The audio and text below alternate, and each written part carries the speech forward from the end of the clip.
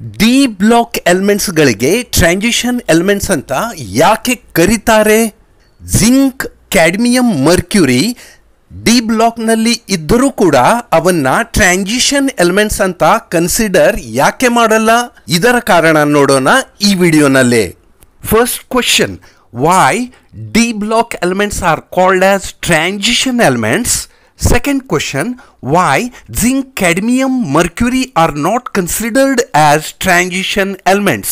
ಬಹಳಷ್ಟು ವಿದ್ಯಾರ್ಥಿಗಳಿಗೆ ಈ ಪ್ರಶ್ನೆಯ ಉತ್ತರವನ್ನು ಬರಿಬೇಕಾದರೆ ಸಮಸ್ಯೆ ಆಗುತ್ತೆ ಯಾಕಂದ್ರೆ ವಿದ್ಯಾರ್ಥಿಗಳಿಗೆ ತಿಳಿಯೋಲ್ಲ ಉತ್ತರವನ್ನು ಎಲ್ಲಿಂದ ಎಲ್ಲಿಯವರೆಗೆ ಬರೀಬೇಕು ಅಂತ. ಇದೇ ರೀತಿಯಾಗಿ ಕಾಲೇಜಿನಲ್ಲಿಯ ಲೆಕ್ಚರರ್ಸ್ಗಳಿಗೂ why D block elements are called as transition elements ಈ ಕನ್ಸೆಪ್ಟನ್ನು ಎಕ್ಸ್ಪ್ಲೇನ್ ಮಾಡಬೇಕಾದ್ರೆ ಸಮಸ್ಯೆ ಬರುತ್ತೆ. ಹಾಗಾದರೆ ನಡೀರಿ ನೋಡೋಣ, ನೀಟ್ ಜೆ ಡಬ್ಲ್ಯೂ ಹಾಗೂ ಬೋರ್ಡ್ ಎಕ್ಸಾಮ್ನಲ್ಲಿ ಈ ಪ್ರಶ್ನೆಯ ಎಕ್ಸ್ಪೆಕ್ಟೆಡ್ ಆನ್ಸರ್ ಏನಿದೆ ಅಂತ. ನೋಡಿ ಟ್ರಾನ್ಸಿಷನ್ನ ಅರ್ಥ ಗ್ರ್ಯಾಜುವಲ್ ಚೇಂಜ್ ಅಂದರೆ ಸ್ಲೋಲಿ ಚೇಂಜ್ ಆಗೋದು. As we go from left to right in the periodic table metallic characters ಕ್ರಮೇಣವಾಗಿ ಕಡಿಮೆ ಆಗ್ತಾ ಹೋಗುತ್ತೆ. ಯಾವಾಗ ನಾವು ಪಿರಿಯಾಡಿಕ್ ಟೇಬಲ್ನಲ್ಲಿ ಲೆಫ್ಟ್ ಟು ರೈಟ್ ಮೂವ್ ಆಗ್ತೇವೋ ಮೆಟಾಲಿಕ್ ಕ್ಯಾರೆಕ್ಟರ್ ಗ್ರ್ಯಾಜುವಲ್ ಆಗಿ ಕಡಿಮೆ ಆಗ್ತಾ ಹೋಗುತ್ತವೆ. ಇದಕ್ಕೆ ಟ್ರಾನ್ಸಿಷನ್ ಅಂತ ಕರೀತಾರೆ.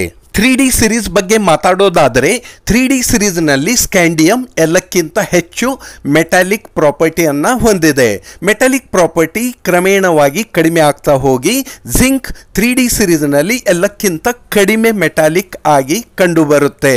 ಒಂದು ವೇಳೆ ಮ್ಯಾಂಗನೀಸ್ ಹಾಗೂ ಐರನ್ ಅನ್ನು ಕಂಪೇರ್ ಮಾಡಿದರೆ ಮ್ಯಾಂಗನೀಸ್ ಐರನ್ಗಿಂತ ಹೆಚ್ಚು ಮೆಟಾಲಿಕ್ ಆಗಿದೆ. ಈಗ ನೋಡೋಣ why G block elements are called as transition metals why zinc cadmium mercury are not considered as transition metals ಇದರ ಎಕ್ಸ್ಪೆಕ್ಟೆಡ್ ಆನ್ಸರ್ ಈ ರೀತಿಯಾಗಿದೆ. D block elements are called as transition elements because reason 1 transition means gradual change.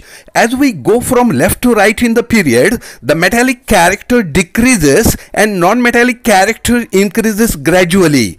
D block elements show transitional behavior between S and P block elements. Hence they are called as transition elements. Second reason D block elements have partially filled D subshell, so DD transition is possible.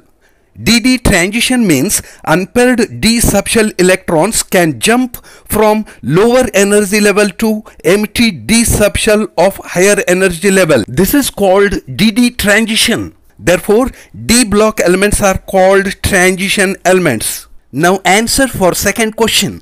Zinc, cadmium, mercury are not considered as transition metals because they have completely filled D subshells. Hence, DD transition is not possible in zinc, cadmium and mercury. Therefore, zinc, cadmium, mercury are not considered as transition elements. This is your friend Avin. Please like, share, subscribe and support my channel. Thank you so much.